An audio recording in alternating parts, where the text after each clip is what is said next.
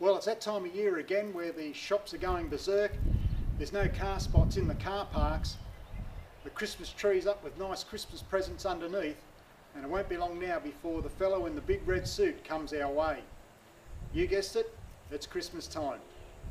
First up, from all of us here at Fishinyak, we'd like to say thank you to all the people that have liked us out there on Facebook, also for the people that have liked us on YouTube, and also the people that have subscribed to our Fishinyak YouTube channel. We really appreciate that.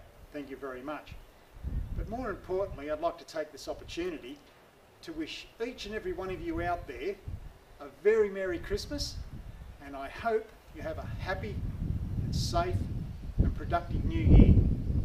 So until next time, when we meet this wonderful world of fishing in this wonderful country of ours we call Australia, I'm Glenn, and I'll catch you on the water.